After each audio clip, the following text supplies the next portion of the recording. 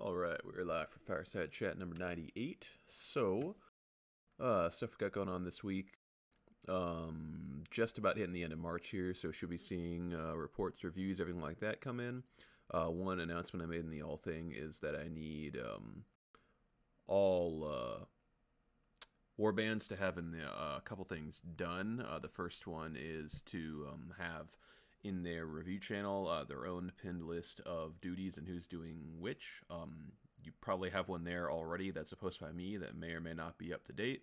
The idea is that you'll make your own so that you can go and edit it any time instead of me having to edit mine for every single warband and have to you have to wait on me to go figure out who's doing what and everything like that. You can just update it whenever needed. And um, instead, what I'll do is I'll just check that periodically and update my master thread with um, the information from those pinned posts. So you'll need to keep those updated as well. But um, need every warband to do that. Um, I haven't gotten a chance to actually individually double check that every warband has. So uh, if you have, everybody has, that's great. Um, other than that, um, another one was uh, goals pinned. I think every warband has this, but um, again, I haven't double checked that yet. I'll do that before the end of the month for sure. Um, probably today.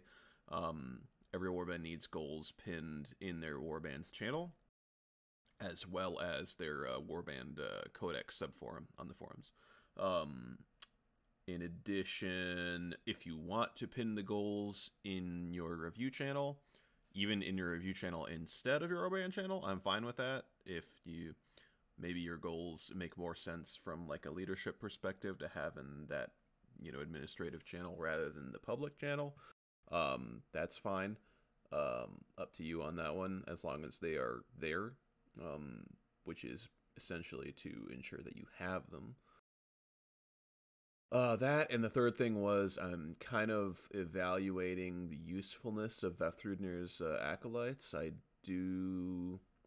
I've gotten some good feedback on it so far. Um, it's definitely not like a you know one thing or the other. I think um, there's definitely some benefits to having something of a filter or screening process on new and returning recruits, and it makes it really easy because let's say we have a new recruit come back or a, new recruit join rather or a returning member come back and uh, i or uh, you know maybe Soulite or a different officer in the channel explains some of the basics of wa maybe some of the things that have changed recently.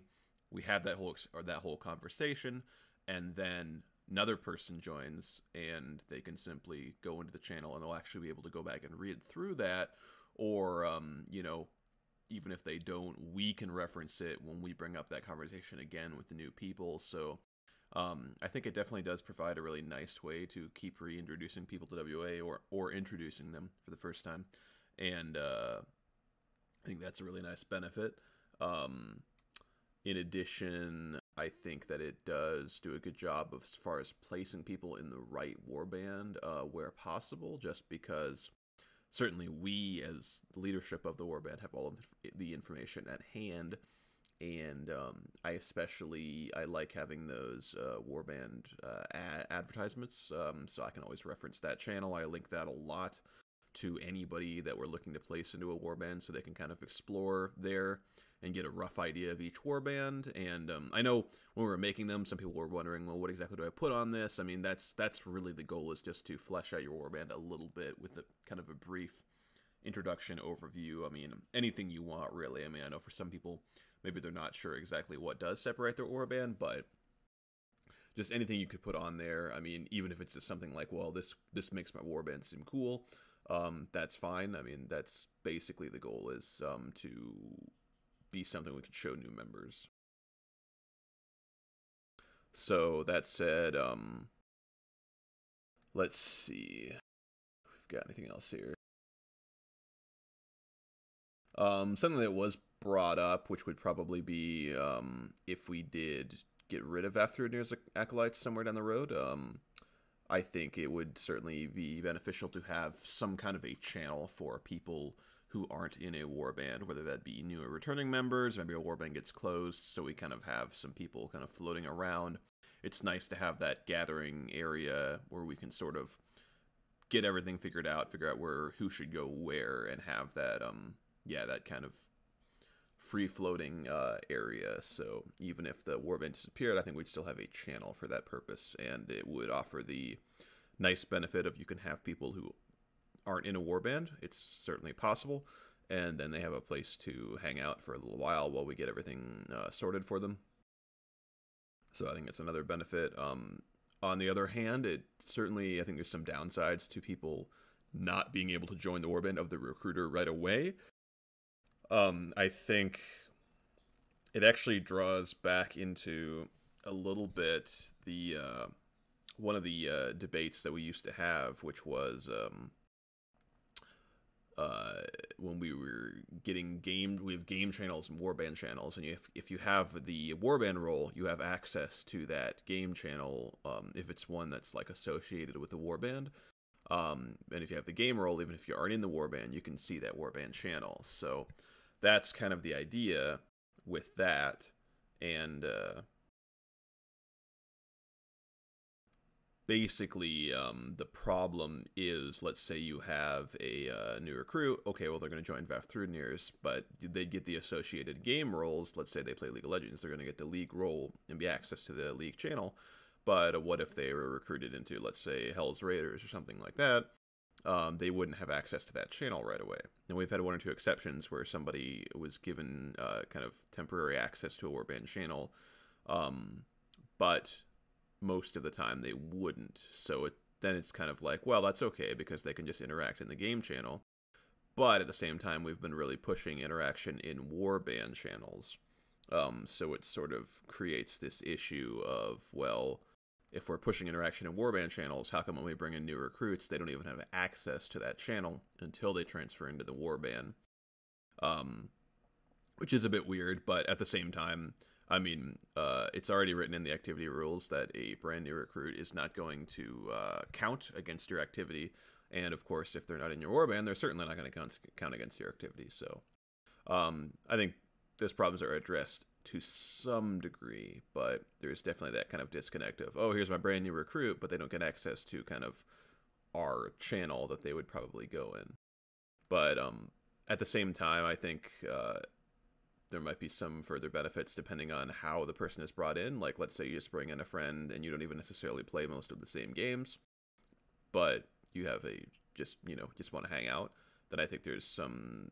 Uh, positives to having a warband that is uh, essentially exists to uh, figure out which warband people would go in if uh, there isn't one that's already kind of predetermined, as has been the case for most of the people that joined Vafthrudnir. So, anyways, to to summarize, I'm looking at kind of pros and cons and evaluating that right now. So I'm interested in hearing uh, further people's thoughts on that, and um, as well uh, spread the word to any officers you see, especially uh, your own officers in your win that uh yeah those are the three things i'm looking for. Goals pinned on the forums and in discord uh their own post listing who's doing which duties uh, pinned in their review channel on discord and uh yeah thoughts on Vafthrudnir's basically so those are the three things I'm looking for right now. Um, still working on the Yule song as well. Um, as far as progress, basically done with drums, bass is done, guitars making a lot of progress. Um, so not actually that much further until I'm done with every part except for vocals. So that's what we'll be doing last is writing lyrics, of course, um, incorporating the uh, top 10 uh, point scores from the uh, Vet Vigor, the Yule uh, competition. So uh, yeah, actually, not uh, not that much more progress to be made. I mean, there's there's always going to be like some degree of uh, uncertainty as far as the timeline on it. Um, I want to kind of mix and master it and whatnot too. So um, there's definitely more stuff to be done, but uh, so far making a ton of progress. And yeah, continue to work on it basically. Um, I have been kind of drawing up some stuff um, as well, still um, to some degree on the uh, idea of using uh, houses uh, as a system of organization uh, for the chain of command, so as the sole system of organization within the clan. Um, so I was kind of drawing up some ideas. Um, I've had a lot of interesting ideas um, that I'm not sure are all compatible those ideas, some of them being stuff I thought up, some of them being stuff people have just uh, mentioned to me or kind of pitched to me. So I think there's there's a lot of different directions we could go in. Um, something I've kind of talked about before, just to give a little bit of insight into it, is the idea of kind of reverting to a fleet system. Um, but the so far the problem I've encountered in me just kind of brainstorming, sketching out some of these ideas is that there is um, some difficulty in combining a fleet system, uh, like the terminology, with uh, houses. Um, because generally, if we're using a rank structure, so the, the rank that I like is Lord Captain. Um, you know, when we had our third the third fleet system, we uh, utilized Captain as the command rank for a division. But uh, so, so with that in mind, assuming Lord Captain, you're the leader of a house, that equates a house to a division, um, and therefore within a house would be platoons, uh, therefore families. So the leader of a family should be some type of lieutenant. So to that point, it's fine, but then it becomes sort of weird because um, if you're looking for, let's say, equating a house to like a, a group of ships or something like that, like some kind of naval unit, um, it doesn't make that much sense. Um, it's certainly doable, but let me reopen my document here. But it does get. Uh, one thing I was thinking about doing is like numbering. Like here, I had written out like, you know, the person's name, Lord Captain of the First Division of House Stippity, for example um, assuming we use you know divisions and um, like according to what I've researched so far, like the proper terminology would be divisions and squadrons rather than the divisions and platoons. Um, I mean, you can kind of just use whatever you want. Really, it's not like we have to stick to the uh, real life terminology, but that's one thing that we could do alternatively. Um, is equating families to squadrons, um, or simply leave them as houses and families, drop the whole naval terminology, and just leave that to the ranking system.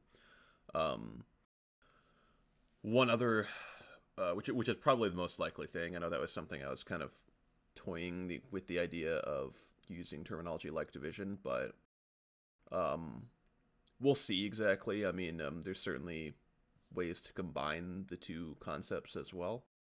Uh, that said, I think um, most likely we'll have to just use the terms houses and families. We have the term Lord Captain for a house then, so perhaps the leader of a family would just be a lieutenant. Um, most likely. Um, I think uh, the logical question is going to be well, let's say I want to establish a WA presence on a new game. I start recruiting a bunch. How does that work?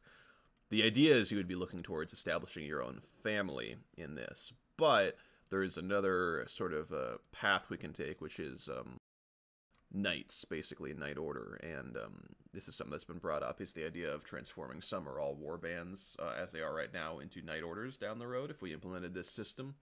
Um, so that idea would be that knight orders, um, you have have a flexible definition there, where you might have a knight order for each house, which is responsible for some duties, chain of command stuff, even something like that, at least maintenance of the house. Uh, for example, maintaining rosters, documentation, all that kind of stuff. Um, or alternatively, um, you might have knight orders that are like the warband ones, uh, houseless that aren't, uh, they don't have a specific um, house they're associated with or that you have to be in to join, but they would have to have some kind of specific purpose, most likely. Um, whether that could be maybe we would say okay if you just have to have a specific game um, is hard to say, but I think um, I do like the idea of that thematically of kind of a group of knights going off to like a specific game to establish an outpost or something like that. I think it'd be cool. Um, I think there's some possibility of combining the term knight into rank names or the chain of command, which could be interesting. Um, as in knight lieutenant or something like that. If you're the leader of a family and you are a knight, maybe that's the term that's used. Or we could just, you know, completely separate the two. I know one thing that was discussed was do you have to be a knight in order to be, say, an earl or a lord? Um, which is kind of a difficult question. I mean, my first instinct is to say no because I think generally it is a good rule of thumb to not combine like something that requires a lot of training and ceremony and ritual and stuff like that with the traditional ranking up in the chain of command. Um, but at the same time, if you know the whole clan structure was based around that knight training, then you could say, well, this is how you ensure that people are going to be good officers is through this kind of filtering testing system.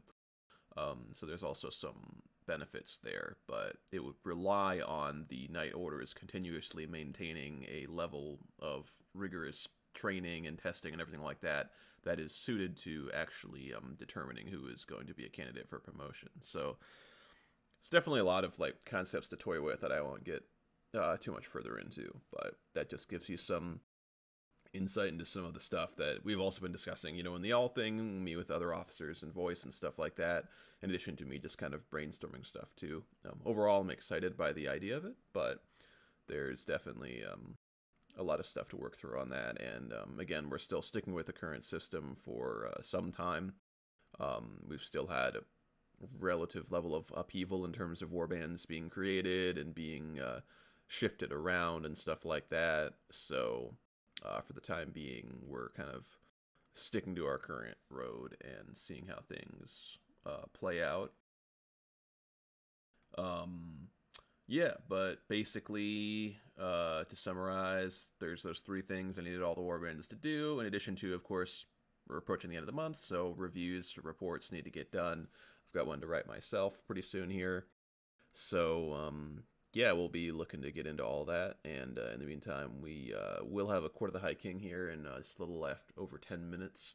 And um, I may hold an additional one. Um, we'll see. I'll try to announce that sometime in advance. But um, for the time being, the plan is just the one, yeah, tonight. So, uh, yeah, I'll say everybody for that. Otherwise, um, we will have a, uh, let's see looking at the schedule here. just a second. I think we may have to shift next week's uh, fireside. Yeah. Yep. So I think what we'll most likely do is we will have fireside on April 1st uh, of next week um, rather than the standard Thursday time slot. So um, I'll try to get the April calendar out maybe pretty soon here. Um, we'll see. But um, yeah, we'll plan on the standard 5 p.m. Uh, Pacific time slot, but Wednesday, April 1st for the next fireside. And um, same deal for the Court of the High King. We'll have uh, just after that at the 5:30 p.m. time slot as well on that Wednesday rather than uh, Thursday. But uh, the week after that should be back to the normal time slot. So uh, yeah, and then of course Court of the High King uh, today too. So we'll see everybody for one or all of those.